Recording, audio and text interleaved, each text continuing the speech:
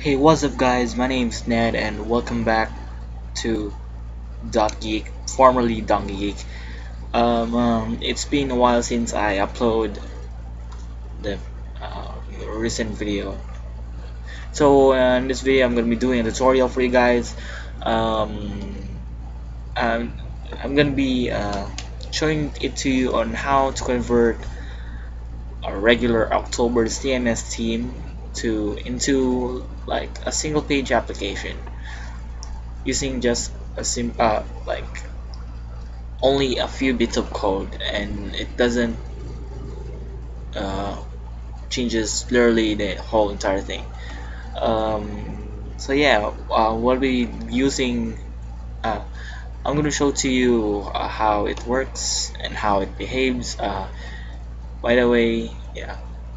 Alright we're gonna be using my theme I'm gonna develop right now. It's called RapidWriter. It's still in pre-release. It's still in uh, development. Uh, you can download right now if you want and just hack it. Whatever. It's my first release. It's in 0.1.1 uh, yeah. It in, it features a single page application thingy um, way of, of navigating so here's an example. We have uh, a working site and then uh, try to let's try to click the second post the recent post. You can see there's a loading bar on the top. We're gonna be include that later on. Um, yeah there's nothing to reload against just the data itself. It just refreshes. And you can go to categories. Uh, as far as I uh, as far as I know the search box the search box uh, is still not yet working at all. So uh, say post this is reloads like that. So uh, yeah only the links and stuff will still be working on since uh, we're gonna be I'll, I'll teach you the basics only. Uh, putting the most important stuff like putting loading bar and stuff. Okay so uh, let's get started. Gonna be needing this very little library that can able to uh, convert into a single page applicant application. It's called Senna.js um, it's very easy to you but a blazing fast. It really is a blazing fast um, single page application engine. Unlike angular uh, ember and stuff it's just really the single page it's just the, the very basic of a single page application. The the part you want and not the whole thing. Um, it's also it also has uh, the ability to to um, go back and previous. And um, it's also SEO friendly too so if you're if you're really wanted to put your site on Google it doesn't matter since it's SEO friendly. Okay so first of all let's download this one. Uh, yeah we've activated it uh, okay once we download that one um, okay we won't we will not wait anymore since I have downloaded one. Uh, okay. Okay so uh, let's extract. First of all let's extract only the build folder. Thing the minified one. Let's go to assets JS and then uh, let's put it here there you go. Is there? I know it's pretty optional but we're, we're gonna be uh, including the style sheet of it. You're putting the style sheet of it right here. If you want the loading bar and stuff you can uh, you just import the standard CSS and you're good to go. It also has a fading animation if you want to. So uh, let's close this one. Uh, uh, okay. Let's go. Okay so we're now at the default layout. Uh, okay. Let's import the the Senna libraries first. Okay so that's we're on Sublime Text and um, should duplicate the the app.css path so to Senna and then uh, it to the top uh, very bottom of it. And uh, let's put uh, the very top. Say Senamin .js and now let's put this remove this JS this add this part since we, we put the library into the JS folder. Okay so let's save this first and uh, let's initialize it. Okay so uh, let's initialize the Senna to uh, data attribute since that's the very very easiest part of it and the JavaScript is very very um, time consuming for our tutorial to to this video. I'm not saying today because I'm recording it tonight and this night. Okay so let's go to the body and then initialize it through by typing data-senna on it.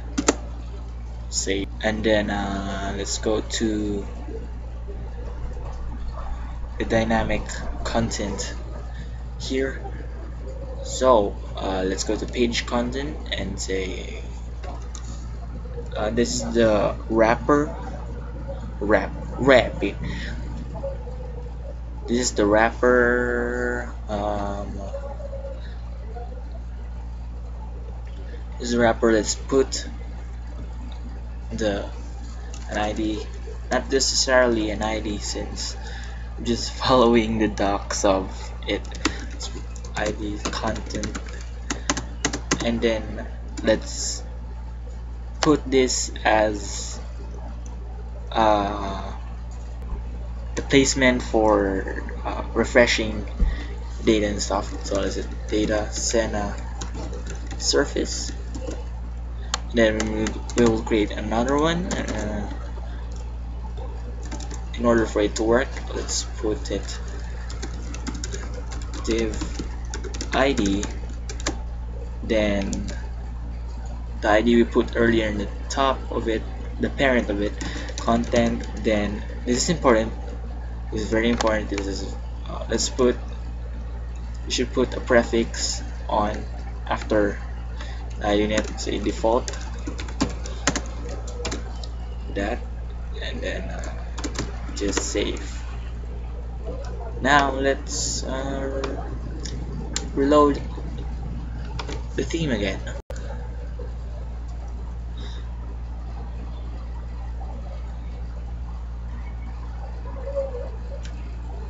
There you go. And then host number two. There you go. It works. Very very works. It really works. Now let's go to uh, let's put let's make let's put the data uh, loading bar loading loading bar that indicates that the website is really working. Okay so let's put first the loading bar the putting on the very top before uh, after body is a Senna loading bar. Since Senna ships with uh, st default style for a loading bar. Save that. Then the very last thing to is we put a fade animation on it.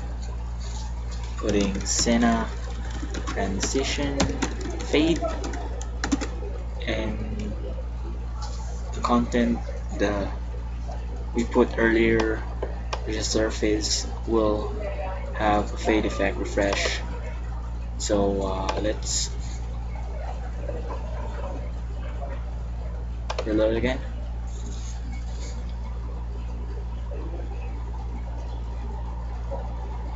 Post number two. There's the loading bar. Wait a minute there's something wrong in here. Oh let's let's refer to the Senna sheet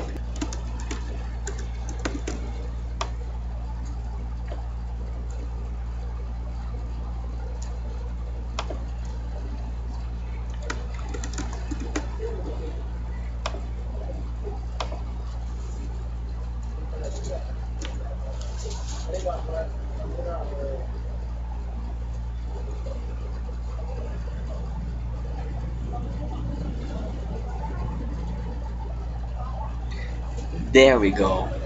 Uh, I apologize for the mistake. And we put the